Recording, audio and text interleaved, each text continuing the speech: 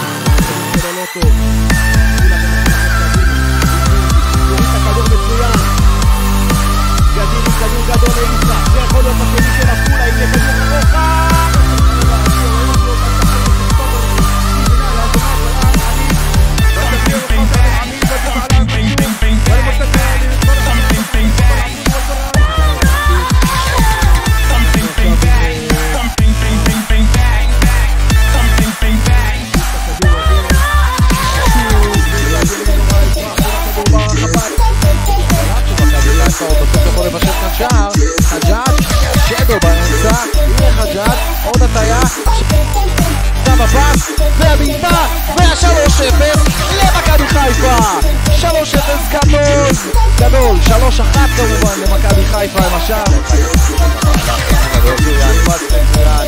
חוטף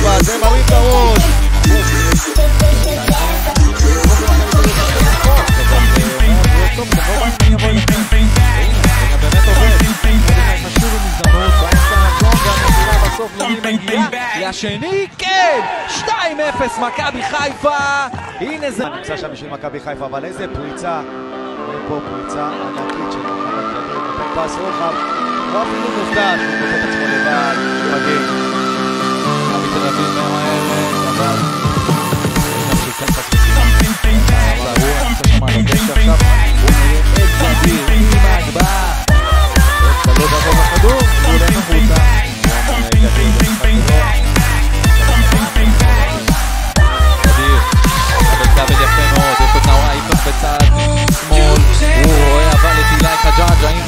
3-0, ניצחון של הנסיעה, מקבל אותה, סוברים, לא מגיע לגדיר, אבל גורי, פחות טובה.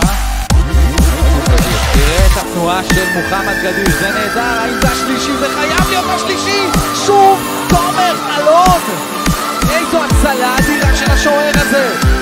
היחיד שמונע כאן ממכבי תל אביב. כרגע הוא מציל אותם, והוא נמצא שם בשביל שחקני מכבי תל אביב, ששחקני ההגנה של מכבי לא קיימים. אבל תראה איזה מהלך, אנחנו מדברים על ההצלה, אבל השחקן נמצא